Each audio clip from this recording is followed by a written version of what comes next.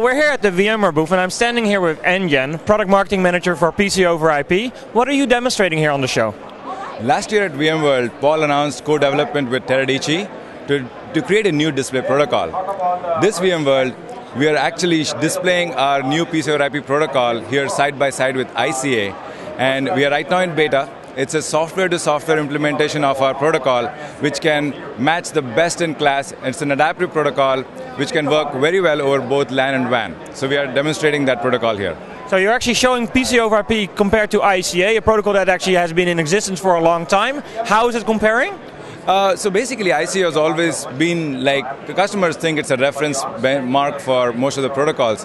We want to do this side-by-side comparison to just to show that we are very comparable today, even in beta, against a protocol that's been out there for 12, 18 months, and that's been worked over by a bunch of engineers for many years.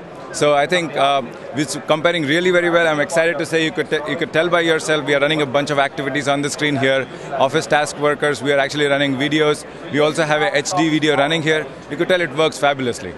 So when can actually people expect this not in beta, but actually a general availability from the PCoIP protocol? Uh, VMware's promised to make it generally available before the end of the year, so it will be available in 2009 for our customers. Okay, thank you very much, Engen. This is Richard reporting for VMworld TV.